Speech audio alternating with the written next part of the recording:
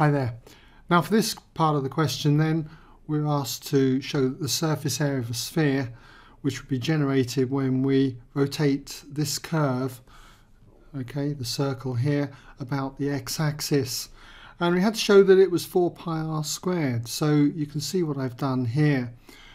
But uh, essentially then, just in case there were any problems, the surface area is always given by this formula here, 2 pi times the integral from x1 to x2 of y times all of the root of 1 plus dy by dx all squared, integrated with respect to x. And you can see this formula anyway in your formula book. Now in the first part, part A, we worked out what 1 plus dy by dx all squared was. It got this result, r squared all over r squared minus x squared. So I can take the curve here.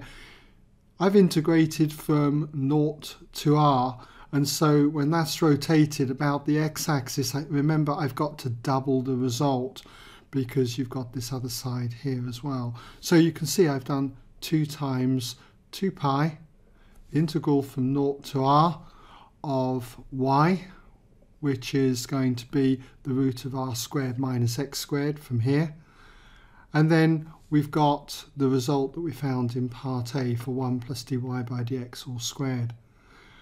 So it's very convenient. This cancels out with this here. Leaves us with the square root of r squared, which is r. And working this through, you get 4 pi r squared. Okay?